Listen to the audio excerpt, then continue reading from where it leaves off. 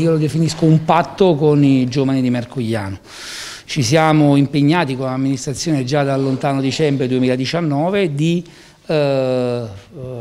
portare avanti un, uh, un, discorso di imprenditoria giovanile eh, che possa permettere appunto ai nostri giovani di investire sulla propria terra, eh, nella propria terra. E, Pertanto oggi c'è l'inaugurazione dello sportello, ci sono stati questi due anni un po' particolari, eh, eh pertanto siamo partiti a dicembre 2019, oggi realizziamo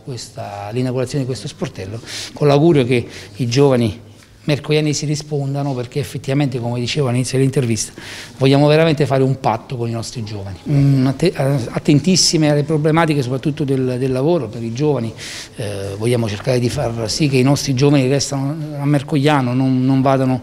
a trovare lavoro fuori. Ci sono tante situazioni che stiamo cercando di sbloccare, purtroppo anche la criticità del, dei pensionamenti e di tante altre situazioni che si sono succedute nel nostro ente non hanno permesso una fluidità dei processi, ma eh, speriamo che quest'ultima quest fase dell'amministrazione possiamo realizzare effettivamente quello che abbiamo previsto nel nostro programma elettorale e pertanto lasciare una Mercogliano migliore ai mercogliani, ai nostri giovani soprattutto. Quando un'amministrazione pubblica, anche qui a Mercogliano, l'amministrazione comunale decide di aprire uno sportello al pubblico per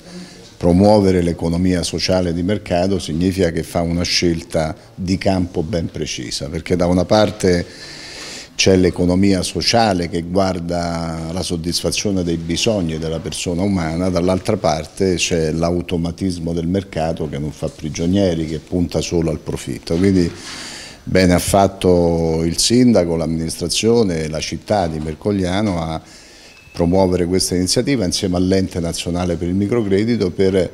non solo dare una mano a chi ha un'idea ma non ha le garanzie per attuarla ma soprattutto perché questo denota una sensibilità unica e quindi io con grande piacere oggi sono qui a sostegno di questa iniziativa con i miei collaboratori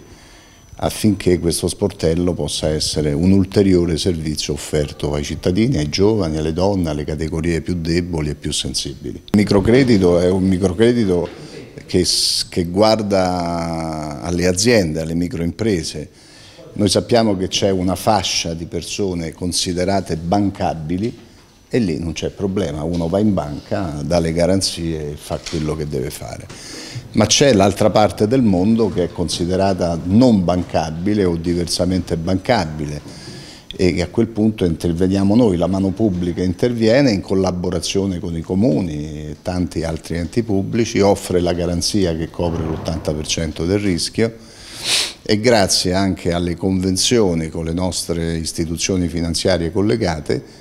eh, possiamo portare un business plan sostenibile al finanziamento. Il finanziamento